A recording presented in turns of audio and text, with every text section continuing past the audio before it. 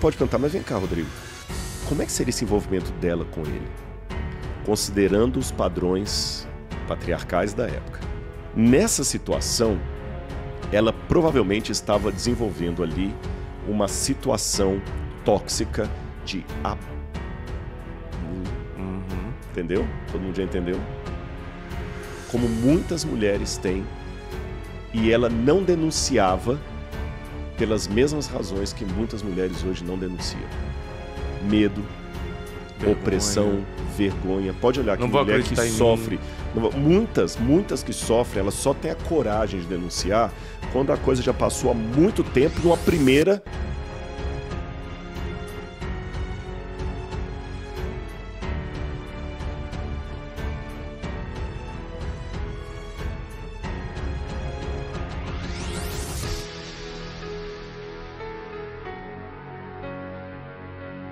a essa importância dela.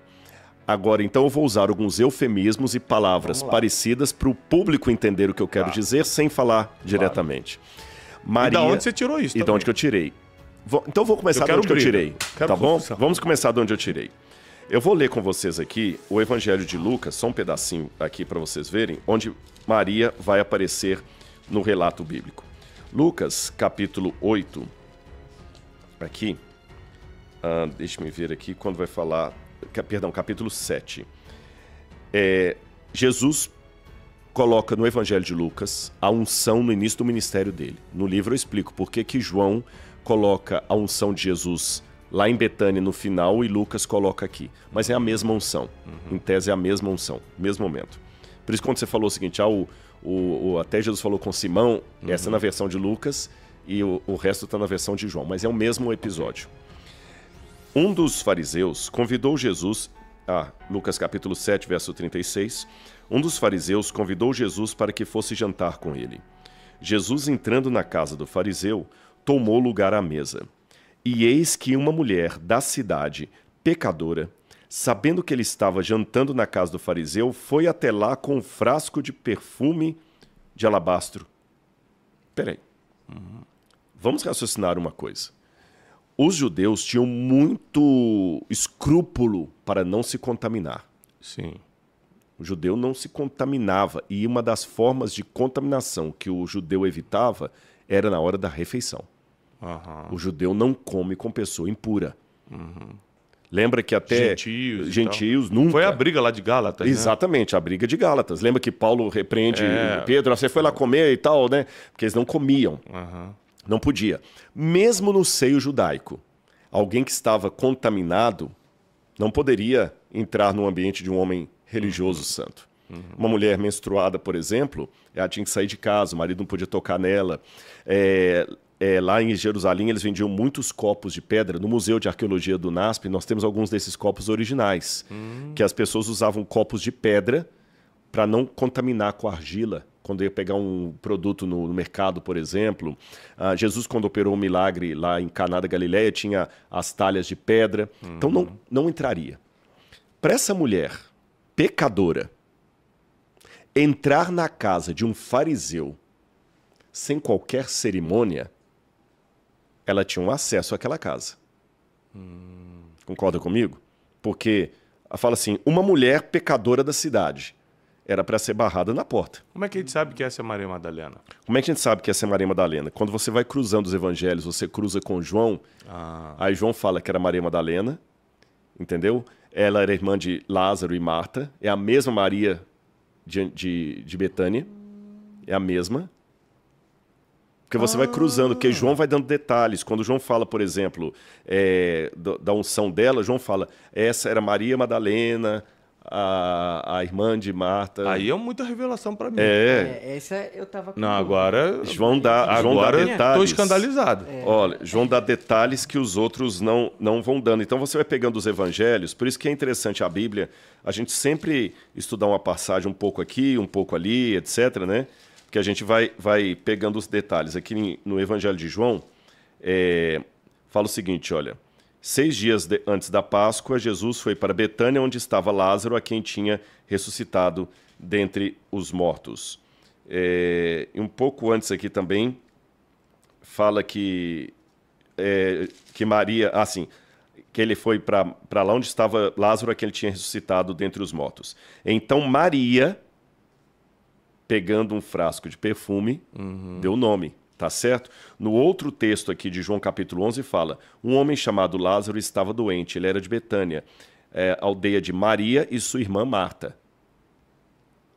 Aí, quando fala da Maria que, e fala que essa Maria, irmã de Lázaro, foi aquela que viu o Senhor ressuscitado. Aí, quando você vai para o final, que fala da mulher Maria que viu o Senhor ressuscitado, é Maria Madalena.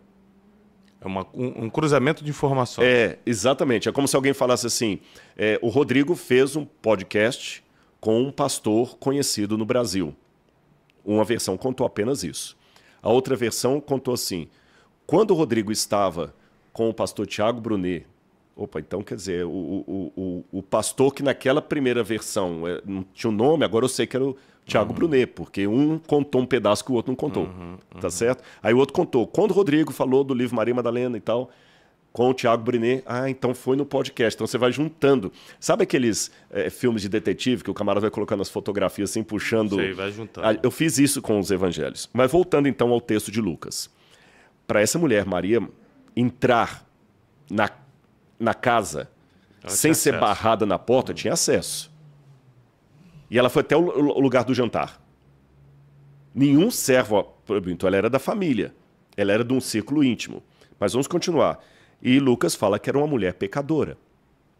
Continuando, diz assim: E entrando por detrás aos pés de Jesus, chorava, derramando-lhe as lágrimas, enxugava com os próprios cabelos, ela beijava os pés de Jesus e ungia com perfume.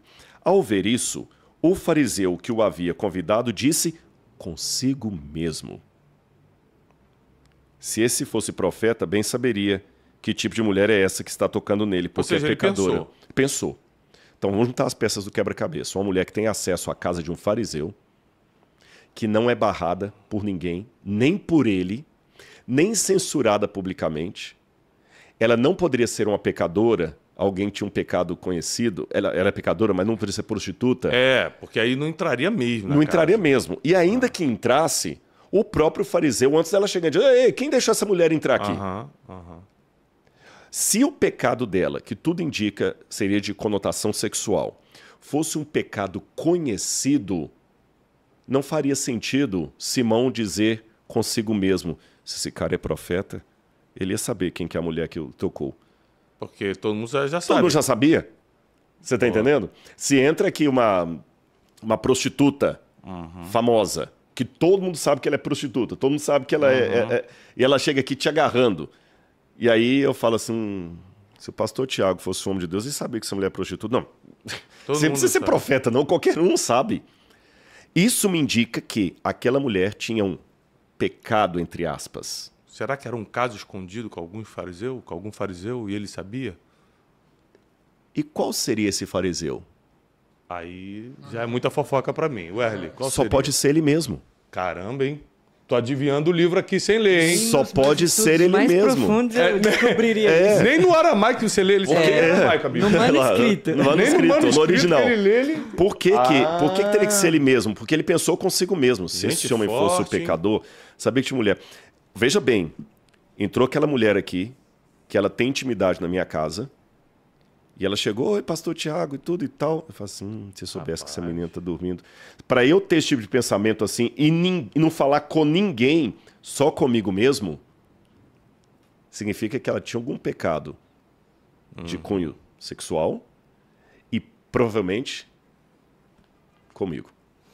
Rapaz, o, o Rodrigo podia ser o, o mentalista, sabe? Aqueles, aqueles investigadores que descobrem tudo no final. E Jesus, e Jesus de maneira muito sábia não expôs Simão. Jesus falou de maneira parabólica. Simão, deixa eu te fazer uma pergunta. Aí contou a parábola, né? Um homem devia tanto, o outro devia bem menos. Quem que perdoa? Mas, pois é, ela teve maior dívida pecada, e- perdoada. Jesus falou com ela, filha, teus pecados estão perdoados.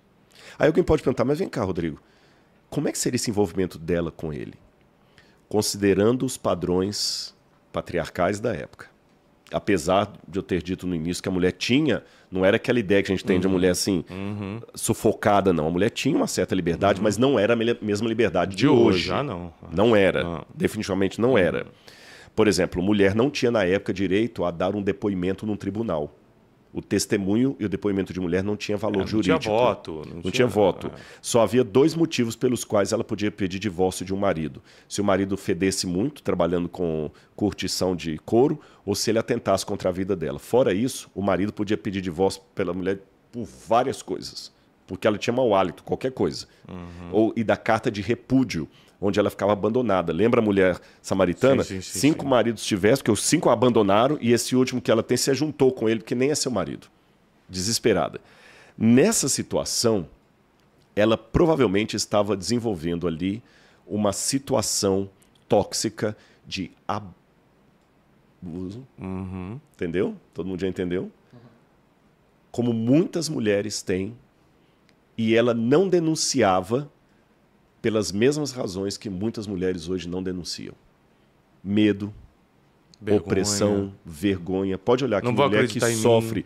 não muitas, muitas que sofrem, elas só têm a coragem de denunciar quando a coisa já passou há muito tempo e uma primeira iniciou. Às vezes É. tem um camarada que já fez isso com várias, aí aparece uma primeira, aparece uma segunda, terceira, uma quarta, quinta, Uhum. sexta, mas no começo, e não é questão de falar que ela é fraca, que ela é covarde, não, gente. Só uma mulher que passou por uma experiência dessa tem autoridade para falar como é difícil. Então imagina que aquele homem estava e ela provavelmente estava entre aquelas que ouvia Jesus na casa de Levi e Mateus, porque Jesus recebia publicanos e pecadores na casa de Levi Mateus. E diz que Jesus, aí quando vai falar, aconteceu depois disso, que Jesus estava de cidade em cidade, aldeia em aldeia, pregando e denunciando o evangelho. E iam com ele os doze discípulos e também algumas mulheres que haviam sido curadas. Maria, chamada Madalena, da qual saíram sete demônios. Sabe o que significa isso? Jesus uma vez falou assim: quando um demônio é expulso, ele sai da casa, E se você fizer de novo, volta sete vezes mais forte. o que que dá a entender? Ela, te- ela- ela caiu de novo. Entendi. depois de ter encontrado com Jesus, talvez em algum dos. Aí é uma especulação. Talvez num dos ensinamentos que ela ia ouvir na casa de Levi e Mateus, ela caiu de novo. Como muitas caem. Porque o, o algoz, o que pratica a- a- a- o crime hediondo contra a mulher, ele consegue manipular de tal maneira que ele aprende, ele a sufoca de novo, ela sai. Como muitas que denunciam. Tem várias síndromes que nascem disso. A né? síndrome de Estocolmo, Estocolmo, muitas denunciam o sujeito na, na, na, na- polícia, faz o BO, boletim de ocorrência, cancela. É. depois cancela por medo, por, por, por sedução. Ele Uhum. falou que vai mudar e tudo. Ela caiu de novo. Por isso que fala que ela tinha sete demônios. A mesma situação. O demônio saiu e Uhum. Volta voltou mais forte. vezes mais. é. É, é, é, e ela enfrentou tudo isso, ou seja, se essa mulher com esse histórico conseguiu ser aquela que nós anunciamos no início, qualquer um de nós, homens ou mulheres, independente do nosso histórico, podemos ser. Porque mais importante do que o que fizeram conosco é o que, que eu faço a partir do que fizeram comigo. É, é. E, o, e o- o poder da redenção de Cristo é poderoso, né? Então, ó, a redenção de Cristo, você que está em casa, ela. A, a- a- crucificação, a morte e ressurreição, o apóstolo Paulo fala assim: se a gente não acredita na ressurreição, todo evangelho tá, é, não é válido para a gente, então, porque o evangelho de Cristo é baseado na sua ressurreição. Então, a ressurreição de Cristo, ele nos garantiu é, o perdão de pecados. Através do nosso arrependimento, através da nossa confissão. E você imagina que uma mulher como Maria Madalena, uma mulher como a samaritana, ou como qualquer outro dos apóstolos que tiveram sua vida pregressa, e provavelmente em muitos erros, tiveram a oportunidade de caminhar lado a lado com o Mestre, com o Messias, com Deus encarnado só porque se arrependeram dos seus pecados e aceitaram as palavras que saíam dele. Então você que está em casa hoje, saiba que não existe é, nada perdido para você. Sofreu, passou pelo que passou, mas vamos falar daqui para frente? Tem rendição em Cristo Jesus para sua vida, tá bom?